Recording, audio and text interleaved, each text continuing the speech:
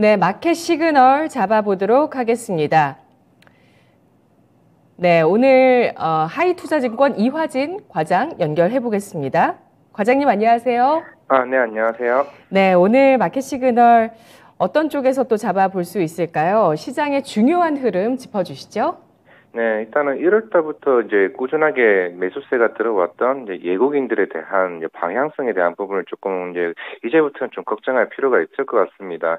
사실 뭐 그동안 이틀 정도 이제 한 3, 3 40포인트가 빠졌지만서도 꾸준하게 이제 외국인은 이제 현물로 이제 계속 매수를 들어왔고 물론 선물 시장에서는 어느 정도 단기적인 어, 대응으로 매도세로 돌아서긴 했지만은 일단 지난 10월 달 이제 우리나라가 어, 크게 반등했던 시장에서 그 당시에는 외국인이 현물과 선물 시장에서 빠르게 어, 많이 대거 유입을 했던 부분에서는 어, 또 한 번에 이제 10월 랠리가 한 번 나올지 않을까에 대한 부분도 없지 않아 있었는데요.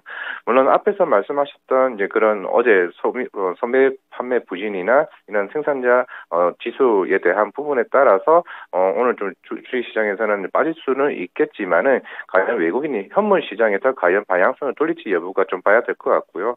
어, 어느 정도 소액 정도에 대한 뭐 매도세는 괜찮. 할지 모르겠지만은 그동안 모아왔던 부분에 대한 매물이 크게 많이 나올 경우에는 어느 정도 좀 경계심이 을 가져야 되지 않을까라고 생각을 하고 있는데 일단은 어, 외국인이 1월 달부터 꾸준하게 샀던 이제 업종에 대한 부분을 한번 체크를 해볼 필요가 있을 것 같습니다. 어, 그동안 전기전자, 금융, 게임, 이제 리오프닝 쪽으로 이제 집중하는 모습을 보였었는데요. 물론 전기전자 같은 경우는 이제 삼성전자나 뭐 SK 하이닉스, 어, 사실 1월 10일 날 이제 인텔에서 사파이어 레피즈가 나오게 됐고 실제로 이제 어, 반도체에 대한 재고에 대한 부분들이 어느 정도 빠르게 어, 단축될 가능성이 좀 높다는 어, 시그널이 나오고 있고 물론 1월 30일 날 삼성전자가 이제 잠정 실적 발표를 하고 아 실적 실적 발표를 하고 실적 콩컬에서 감산 이슈가 나오게 되면은 생각보다 반도체 업황이 빠르게 회복될 수 있다는 점은 좀 긍정적으로 봐야 되지 않을까 싶어서 외국인이 들어왔던 것 같고요. 그리고 금융 같은 경우도 사실 워낙 그동안 이제 은행이나 이런 관련 지주 회사들이 이렇게 빠르게 이제 올라왔던 거는 사실 처음 보는 현상이긴 합니다. 결국에는 최근에 1월 어, 3일 날 부동산 완화 정책이나 이런 관련 배당 성향에 대한 상향 어, 이슈도 같이 덩달아 있었기 때문에 어, 금융 지주 관련해서도 조금 어, 외국인 수급이 들어왔었던 것 같고요.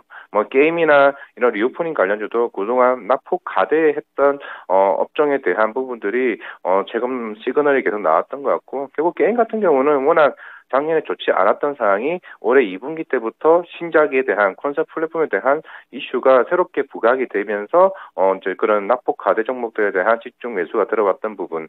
어 마지막으로는 이제 최근에 이제 중국 이제 코로나에 대한 확진자 수가 좀 정점 여부가 계속 일단 나왔던 거죠. 사실 어 지난달에도 1월 중순쯤에는 어느 정도 이제 코로나 확진자 수가 그 정점에 다다랐다 얘기가 나왔던 것 같고 물론 이제 어제 중국 상하이 정부에서도 이제 코로나 정점에 도달을 했으니 이제부터는 이제부터 어, 피크아웃이 도달하게 되면 경기가 빠르게 회복할 수 있다는 측면에서 조금 어, 최근에 외국인들이 수급이 들어왔습니다. 결국에는 이 네 개의 업종에 대해서는 어느 정도 그동안 낙폭 과대도 있었고 올 상반기에는 그래도 어느 정도 어 굉장히 기저 효과로서 조금 기대를 해볼 수 있지 않나라는 측면에서 외국인이 들어왔기 때문에 하지만 이제부터는 어 단기적인 차익 실현 물량이 나올지 여부가 좀 어 당분간 좀 시장에서 좀 중요한 이슈로 갈 수 있을 여부가 굉장히 크다라고 볼 수가 있을 것 같습니다.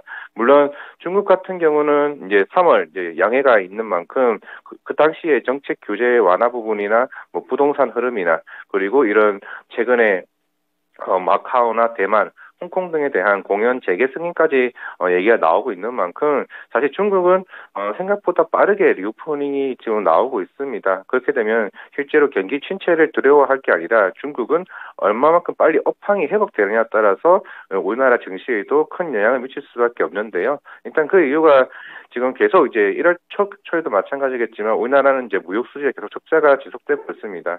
일단 그 이유가 결국에는 우리나라는 대중 어, 무역 수지 자체가 중국의 의존도가 굉장히 높기 때문에 결국 중국이 살아나야 우리나라 무역 수지도 흑자로 전환될 수 있는 부분인 만큼 굉장히 지금 중국에 있는 초점을 좀 맞출 수밖에 없기 때문에 지금 이제 경, 중국에 대한 정책에 따라 지금 우리나라 어, 시장 자체가 조금 그런 시그널이 좀 중요하지 않나라고 생각하고 있습니다. 네. 중화권의 공연 재개 이슈 소개해 주시면서 아직 결정은 안 됐지만 엔터 쪽에 대한 수혜 기대도 지난 시간에 말씀해 주셨고요. 또 중국 소비 수혜주들 가운데서 뭐 어제 장에 F&F 같은 종목도 굉장히 강세를 보였거든요. 이렇게 중국 리오프닝 관련한 기대감들은 계속 확산되고 있는 상황입니다. 간밤 미국 장이 하락했던 만큼 오늘 우리 장이 어느 정도 선에 조정을 받을 것인지 체력을 테스트해 볼 수 있는 시간인데요. 오늘 장 앞두고 시장을 이끌고 있는 두 가지 중요한 변수 변수로 외국인의 매수세와 또 중국의 코로나 정점 그리고 경기 회복에 대한 그 속도와 폭에 대해서 주목해 보자는 의견을 전해주고 있습니다. 자, 그러면 오늘 장에 놓치지 말아야 할 시그널도 좀 잡아보도록 할 텐데요. 어, 어떤 시그널 놓치지 말아야 할까요?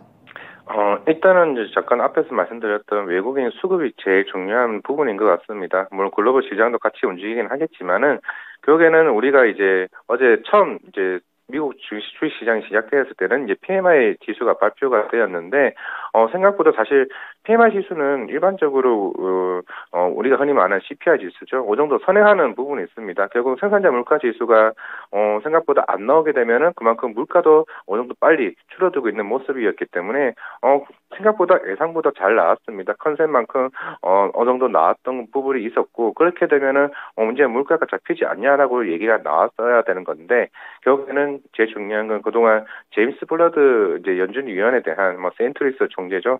이 부분 어, 이 발언 자체가 조금 어느 정도 시장에 조금 냉기를 좀 끊었던 것 같습니다.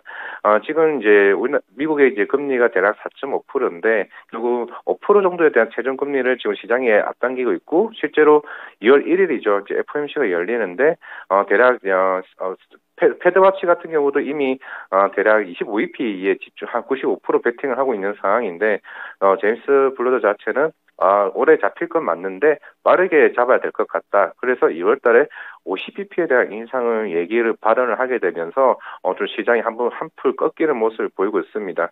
어, 일단은 뭐 사실 불라드 총재 같은 경우는 올해 이제 연준에 대한 투표권이 없는 만큼 하지만 그동안 워낙 이제 매파적 발언으로 유명한 대표적인 연준 위원이었기 때문에 아, 시장은 여기서 조금 좀 불안 심리를 여 겼던 거죠. 사실 그동안은 소매 판매 부진이나 이런 PMI 지수에 대한 실제로 지표를 발표하게 되면 bad news는 일단 good news로 이제 인식했던 상황 이 강했는데 결국에는 여기서 이제 그동안 계속 물가를 잡았고 안전 뉴스는 결국 good news로 경기 완화 정책이 나오지 않냐라는 이슈가 나왔던 건데 이제 이제부터는 그런 것 같습니다. 어, 그동안 물가를 어느 정도 계속 잡았는데 그럼 경기 침체가 장기화되지 않느냐는 전 이제부터 좀 고민이 드는 거죠. 결국 올해 안에 경기 침체가 잡히는 게 아니라 내년까지 이어지지 않을까에 대한 불안 심리가 좀 주식 시장에는 조금 영향을 좀 미치는 것 같습니다. 결국에는 그런 외국인 수급이 바로 즉각적인 대응을 할 수가 있는 부분이죠. 만약에 오늘 만약 외국인이 현물 쪽 시장에서 매도세로 돌아서고 만약에 선물 시장에도 어제와 마찬가지로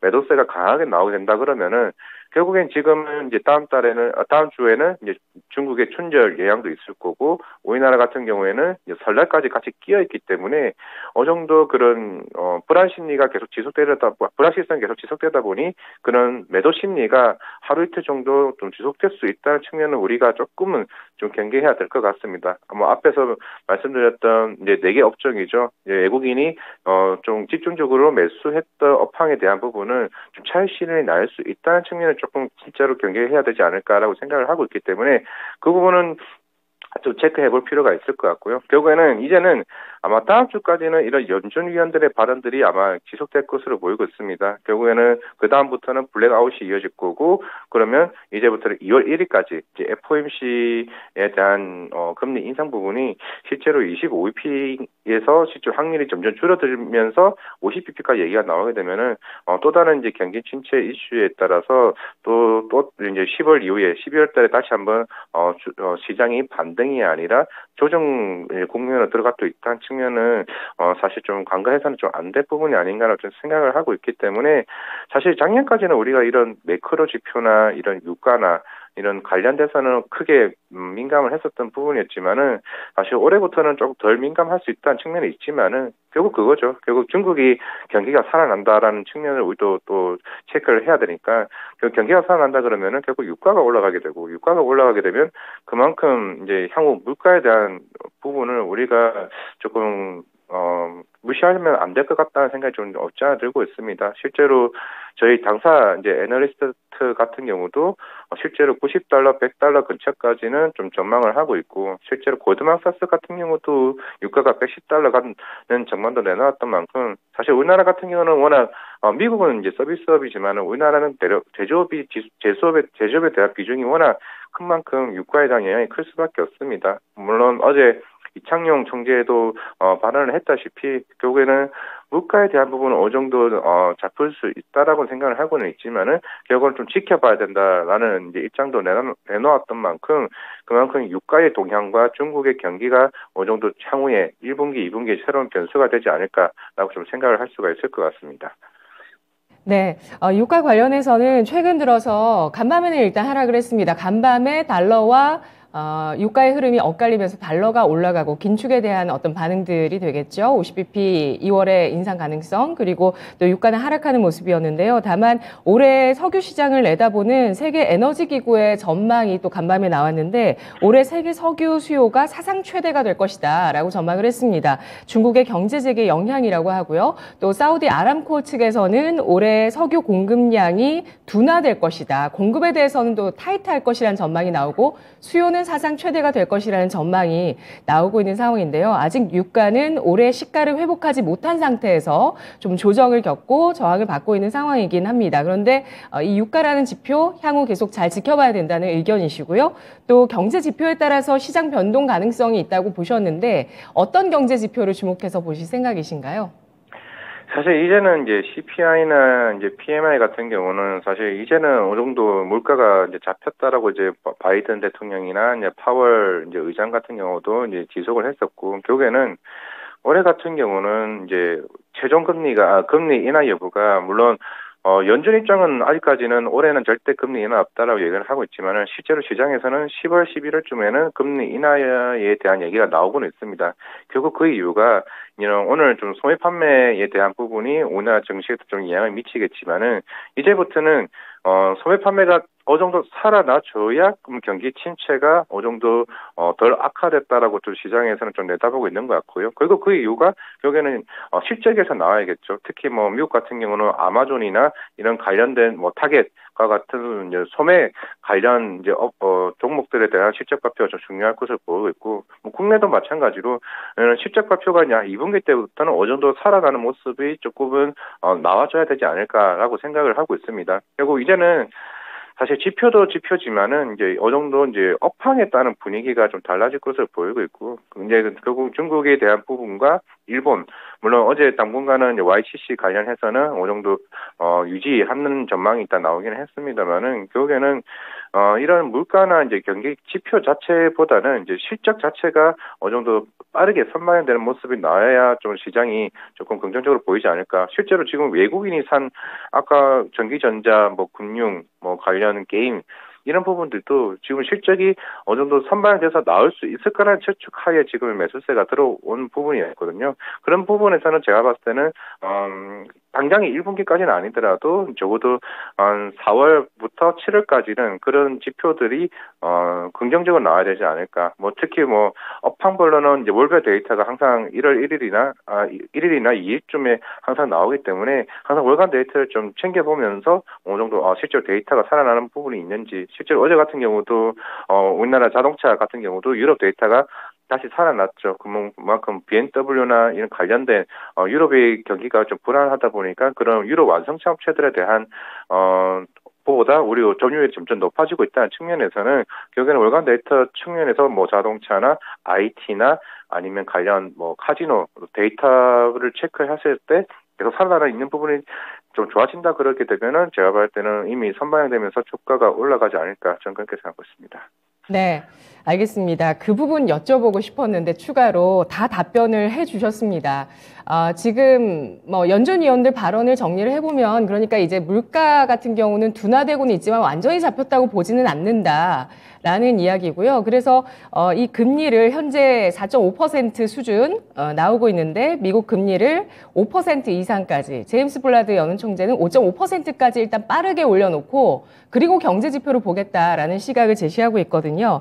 어, 앞으로 볼 어, 중요하게 보실 지표로 경제 지표보다도 소매 기업들의 실적이라든지 또 업황의 추이들 그리고 여기에 월간 지표로 확인할 수 있는 자동차와 IT 관련 카지노 관련한 지표들 잘 지켜보면서 업황의 바닥 찾기가 중요하다라는 의견을 주셨는데요. 그렇습니다. 지금 이제 경기 침체가 올 것이라는 이야기들이 굉장히 많고 또 소비에 대해서 우려가 많았는데 역시나 미국 소비도 좀 주춤했죠. 연말에 다 지갑을 닫았습니다. 어, 데 외국인은 들어오고 있습니다. 어, 그래서 이 외국인이 사고 있는 아까 말씀해 주신 그 3대장이라고 볼 수 있는 IT, 금융, 게임, 이들이 경기 민감주의자 성장주의거든요. 이들 섹터를 계속 관심 있게 봐야 된다고 생각하실까요? 네, 맞습니다. 이제 안 그래도 어제 다른 분이 이제 물어보셨던 게 가치주 이제 성장주 얘기를 하는 건데 이제는 우리가 어느 시점에서 시간의 문제에서 이제 금리 인하를 언제 하냐 여부가 제가 봤을 때 좀 중요할 것 같고 결국 경리 경, 금리 인하를 시작을 한다라는 시점이 어느 정도 나오게 되면은 그때부터 성장주에 대한 흐름이 빠르게 다시 한번 올라오지 않을까라고 생각을 하고 있습니다. 아 그렇게 되면 당연히 금융주는 일단 제외를 시키겠죠. 어 일단은 어, 성장주로 움직인다라고 하면 최근에 이제 로봇주가 움직였고 그런 게임주가 움직였고 그럼 또 한번 새롭게 2차 전지에 대한 흐름도 좀 바뀌지 않을까라고 생각을 하고 있기 때문에 어 성장주의 어, 흐름은 사실 워낙 이제 변동성이 큰 부분이 이제 성장주다 보니까 어, 몇 개월 선반영 되냐? 그럼 3개월 선반영이냐, 6개월 선반영이냐? 사실 이런 의미보다는 음, 일단 돌아가면서 순환의 흐름 쪽으로 어, 가면서 업황별로 어, 빠르게 치고 올라가지 않을까라고 생각하고 있는데 그 첫 번째가 지금 제가 봤을 때는 로봇이고 그 다음이 이제 게임 주지 않을까 좀 그렇게 생각하고 있습니다. 네, 알겠습니다.